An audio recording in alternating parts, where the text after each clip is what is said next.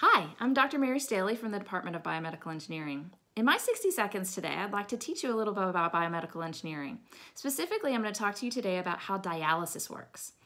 Dialysis is the process that has been engineered to remove toxins from the bloodstream when the body is incapable of doing it anymore. Typically, the kidneys function in this manner, uh, but this is the way that it works. So with this crude diagram, you can see that the dialyzer has a bloodstream that comes in in one direction and a dialysis stream that comes out in the other direction. Brain burner for you, why do they go in opposite directions?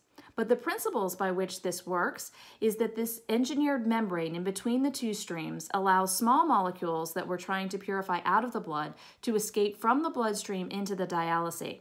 And when they do that, they're utilizing the principle of diffusion and specifically how molecules move from an area where they're in high concentration to low concentration.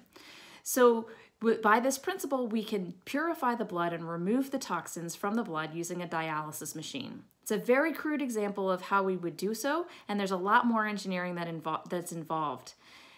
We hope to see you at Rowan this fall so you can learn more about dialysis or whatever field you're interested in learning about.